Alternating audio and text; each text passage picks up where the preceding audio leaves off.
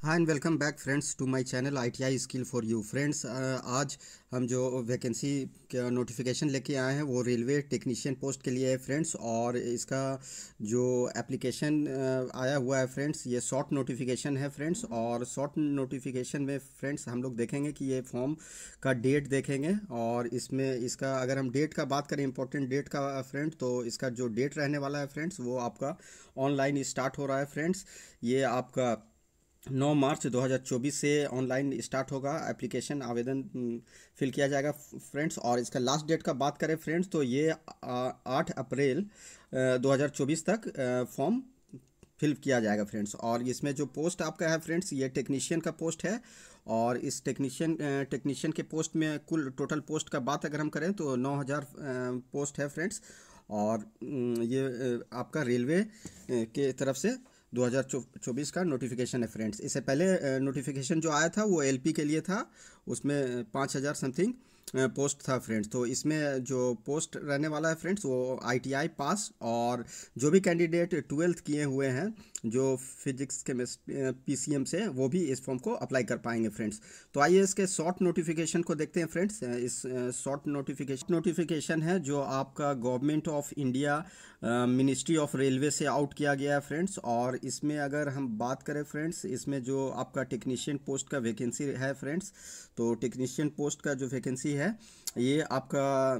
दिया गया है टेक्नीशियन ग्रेड वन सिग्नल और टेक्नीशियन ग्रेड थ्री का पोस्ट है फ्रेंड्स और इसमें अगर हम सैलरी का बात करें फ्रेंड्स जो आपको वेतनमान रहने वाला है फ्रेंड्स तो जैसा कि देख पा रहे हैं टेक्नीशियन ग्रेड वन सिग्नल के लिए आपका जो सैलरी है फ्रेंड्स वो आपका सैलरी उनतीस हज़ार दो सौ रहने वाला है फ्रेंड्स और टेक्नीशियन ग्रेड थ्री के लिए जो है, वो उन्नीस हज़ार नौ सौ रुपया इसका इनिशियल पे रहेगा फ्रेंड्स और अगर मेडिकल का बात करें तो मेडिकल कैटेगरी आपका यहाँ पे दिया हुआ है फ्रेंड्स टेक्नीशियन ग्रेड वन के लिए जो सिग्नल है, इसमें आपको बी वन रहने वाला है फ्रेंड्स और जो सिग्न आपका टेक्नीशियन ग्रेड थ्री है, उसके लिए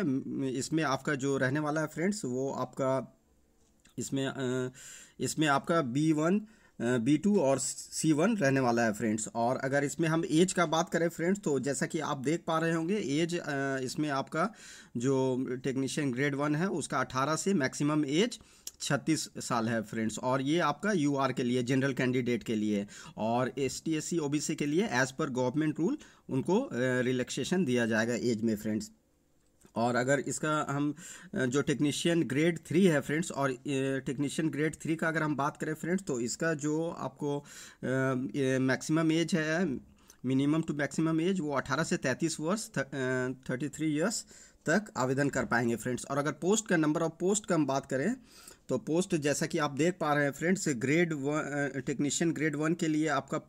पोस्ट है। 1100 पोस्ट है फ्रेंड्स और टेक्नीशियन ग्रेड थ्री के लिए 7900 पोस्ट है। और टोटल पोस्ट का अगर हम बात करें फ्रेंड्स तो टोटल पोस्ट आपका 9000 है फ्रेंड्स यहाँ पे आप देख पा रहे होंगे टोटल पोस्ट 9000 है फ्रेंड्स तो जो भी कैंडिडेट आईटीआई पास हैं या पी मैथ से आप ट्वेल्थ किए हैं, वो भी इस फॉर्म को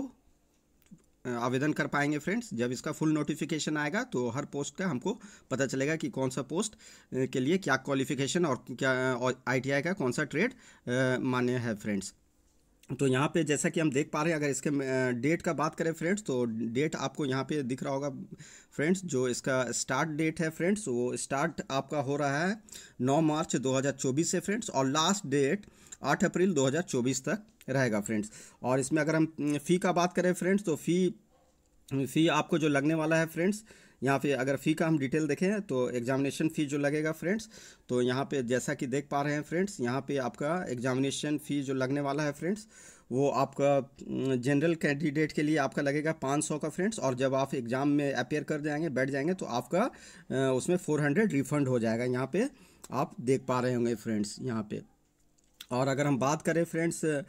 जो फीमेल या पीडब्ल्यूडी कैंडिडेट है एस टी उनके लिए जो फ़ी लगने वाला है फ्रेंड्स, वो आपका फ़ी है ढाई सौ का फ्रेंड्स। और ये टोटल फ़ी आपको रिफंड हो जाएगा एग्ज़ाम में अपेयर करने के बाद फ्रेंड्स। तो ये शॉर्ट नोटिफिकेशन था जो आपको बताना था। एलपी का इसी तरह वैकेंसी आउट किया गया था फ्रेंड्स। और ये आपका टेक्नीशियन का है, जो आईटीआई और ट्वेल्थ पास कैंडिडेट अप्लाई कर सकते हैं इस फॉर्म को। तो आई होप आप सबको ये वीडियो पसंद आया होगा। पसंद आया तो please do like, share and subscribe. Thank you friends.